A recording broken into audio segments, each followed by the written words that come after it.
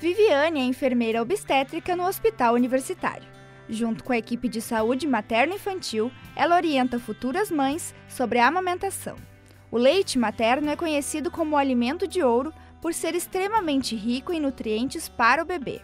Ele sozinho é suficiente para alimentar uma criança até os seis meses de idade. A conscientização sobre a importância da amamentação deve acontecer todos os dias, mas agosto foi o mês escolhido para se intensificar essa campanha. Nós, da TV Campus, convidamos a enfermeira Viviane para nos contar o que é mito e o que é verdade sobre a amamentação. O estresse atrapalha sim na produção de leite, porque ele uh, influencia na produção da ocitocina, que é o hormônio que vai ajudar na injeção do leite. Nenê que é amamentado no seio, uh, exclusivamente até os seis meses, não precisa da água, não precisa da chá, nada, é só leite materno. É livre demanda. O bebê amamentado no peito, exclusivamente, ele mama conforme a vontade dele. Os nenês que têm um horário fixo para mamar são aqueles que são amamentados com leites artificiais. O nenê uh, amamentado no seio é livre demanda. Não é contraindicativo para a amamentação, mas dependendo do tamanho da prótese, ele pode atrapalhar na pega do nenê ao seio materno, mas ele não é contraindicativo.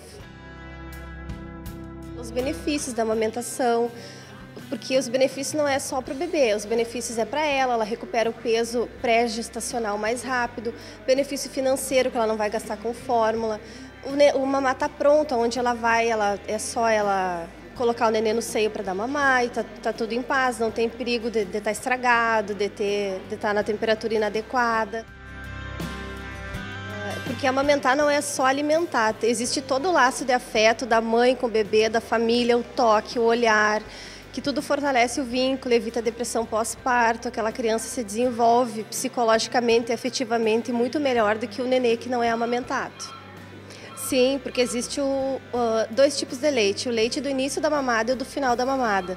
O do início da mamada ele é mais aguado, digamos assim, e tem uma, uma maior concentração de anticorpos que vai proporcionar a imunidade para o nenê e o do final da mamada ele é mais rico em gordura que vai sustentar esse bebê por mais tempo.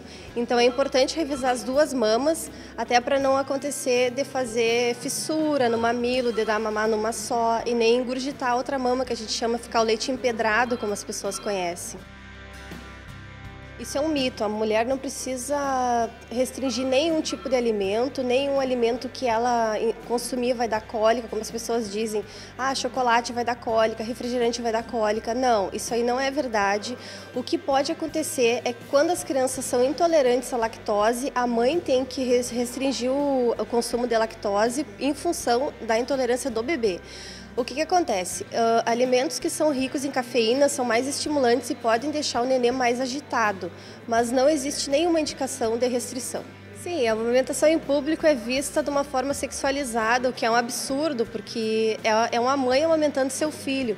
E as pessoas, tem muitas pessoas que ainda veem uh, o seio da mulher de fora que está dando mamada uma forma sexualizada, que não tem fundamento nenhum. E isso atrapalha sim na, na autoestima da mulher. Tem umas quantas que têm vergonha de dar mamar, que ficam constrangidas e isso atrapalha completamente a formação do vínculo da mãe com o nenê.